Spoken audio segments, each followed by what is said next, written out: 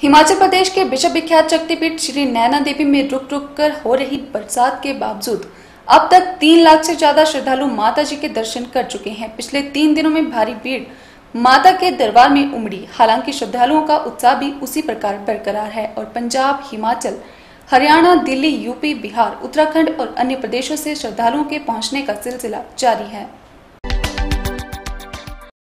हिमाचल प्रदेश के विश्व विख्यात शक्तिपीठ श्री नैना देवी में रुक रुक कर हो रही बरसात के बावजूद अब तक तीन लाख से ज़्यादा श्रद्धालु माता जी के दर्शन कर चुके हैं। पिछले तीन दिनों में भारी भीड़ माता जी के दरबार में उमड़ी। हालाँकि श्रद्धालुओं का उत्साह भी उसी प्रकार बरकरार है। पंजाब, हिमाचल, हरियाणा, दिल्ली, यूपी, बिहार, उत्तराखंड और अन्य प्रदेशों से श्रद्धालुओं के पहुँचने का सिलसिला जारी है। भारी भीड़ के चलते मेला अधिकारी बीनी दीवान ने सहायक महिला अधिकारी सुहास गौतम और मंदिर अधिकारी हुसन चंद के साथ व्यवस्थाओं का जायजा भी लिया और सुरक्षा कर्मचारियों को आवश्यक दिशा निर्देश भी दिए।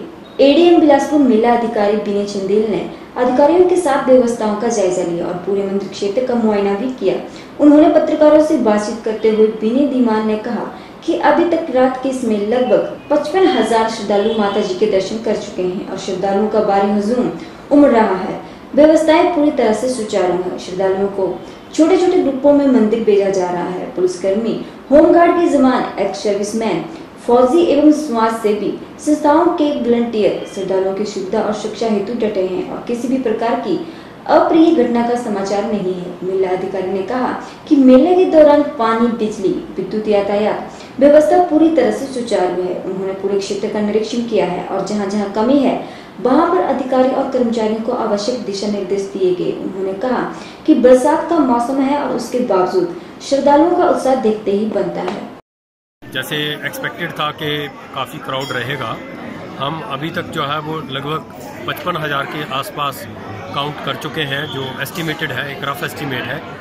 और अभी भी हम देख रहे हैं कि काफ़ी लोग जो हैं वो आ रहे हैं, बस स्टैंड पे काफ़ी लोगों को रोका गया है और उनको फेस्ड मैनर में जो है आगे छोड़ा जा रहा है। यहाँ पे जो जितनी व्यवस्था है, अब तक चुस्त दुरुस्त है और मौसम भी जो है, वो साथ दे रहा है और बहुत सारे लोग जो है, वो आज श्रद्धालु यहाँ पहुँचे हैं।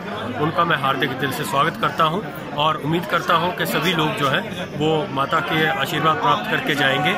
और यहाँ पे जितनी भी हमारी व्यवस्थाएँ हैं शौचालयों से संबंधित या सफ़ाई से संबंधित और जितनी भी कानून की दृष्टि से जो सुरक्षा व्यवस्था है लॉ एंड ऑर्डर जो है, वो सारा व्यवस्थित है।